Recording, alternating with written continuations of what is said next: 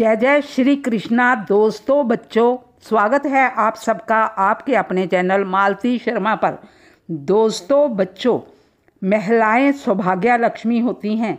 घर को संवारने वाली और मकान को स्वर्ग बनाने वाली महिलाएँ ही तो होती हैं और घर को नरक बनाने वाली भी महिलाएँ ही होती हैं, जो अपनी कुछ आदतों की वजह से अच्छे भले घर को नरक बना देती हैं। यदि आप अपनी कुछ आदतों को सुधार लेती हैं तो किस्मत आपके पति की बदलेगी, किस्मत आपके बेटे की बदलेगी। आज के वीडियो में मैं आपको तीन चीज़ों के बारे में बताऊँगी। उन तीन चीज़ों को एक स्थान पर रख देना है। कोई पूजा पाठ नहीं करना, कोई जादू टोना नहीं करना। सुख समृद्धि से भर जाएगा आपका घर। पर उन चीज़ों को जानने से पहले जो बंधु मेरे चैनल पर नए हैं, जिन्होंने अभी तक चैनल को सब्सक्राइब नहीं करा तो कर लें और साथ में बने बेल बटन को दबाना भी ना भूलें ताकि मेरे आने वाले वीडियो का नोटिफिकेशन सबसे पहले आपको मिले। दोस्तों, बच्चों, महिलाओं की अक्सर आदत होती है खाना बनाते वक्त याद आता है कि घर में नमक तो ख़त्म हो गया है।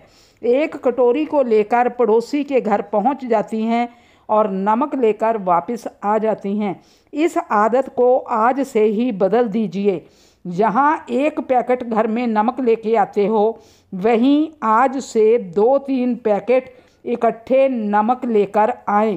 कोई ज़्यादा महँगी चीज़ नहीं है। स्टॉक में हमेशा नमक रखेंगे। नमक की अवस्था अपने घर में हमेशा अच्छी रखें।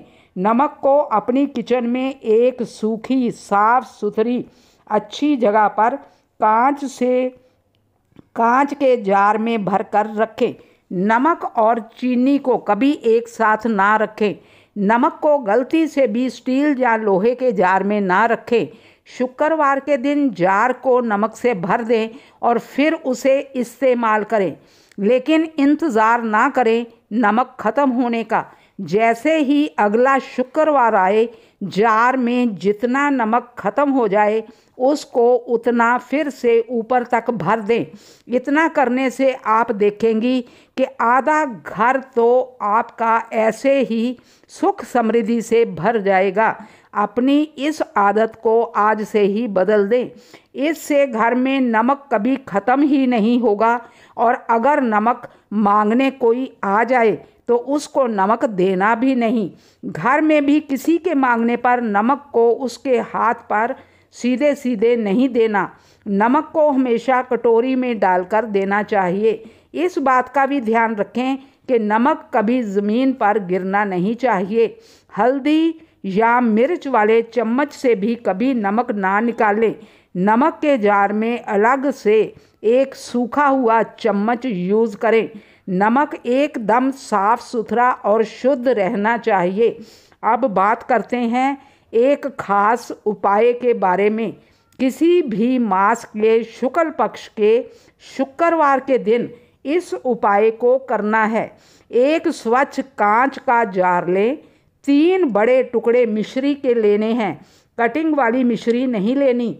बाएँ हाथ से गिलास पकड़े।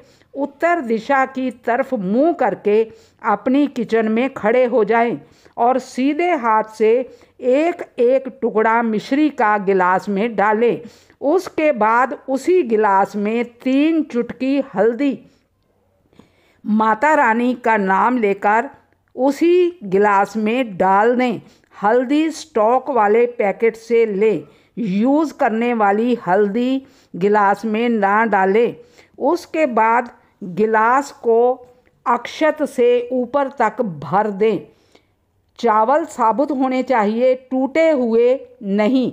गिलास को ऊपर से किसी कटोरी से ढक कर किचन में ही किसी सुरक्षित, अच्छे साफ़ सुथरे स्थान पर अपनी किचन के पूर्व या उत्तर की तरफ़ ऐसी जगह पर रख दें जहाँ पर सब की नज़र पड़ती रहे। आप किचन में आते जाते उस गिलास को देखें। जहाँ पर भी इस गिलास को रखें, वो स्थान आपके सिर से ऊँचा होना चाहिए, सिर से नीचे नहीं। किसी प्रकार की गंदगी उसके आसपास नहीं होनी चाहिए। पूरे तीस दिन इस गिलास को वैसे ही रखा रहने दें और तीस दिन के बाद इस पूरे सामान को किसी पेड़ पौधे में अच्छी साफ़ सुथरी जगह देखकर डाल आएँ या जल में विसर्जित कर दें और फिर शुक्ल पक्ष के शुक्रवार के दिन पुनः इस गिलास को वैसे ही भरकर रखें। तीन महीने तक इस प्रयोग को करें और संभव हो तो पूरा साल इस प्रयोग को दोहराते रहें। इस उपाय को करने से आपके घर में जादू होगा, हर सपना पूरा होगा। घर में सुख समृद्धि आएगी।